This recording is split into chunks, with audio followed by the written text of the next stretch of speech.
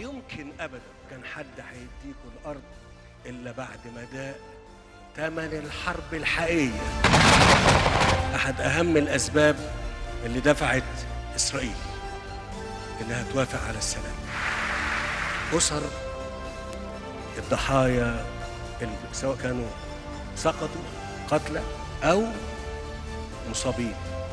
كانوا بالالافات وإذا كان الجيش المصري قدر يعملها مرة فهو هيبقى قادر يعملها كل مرة.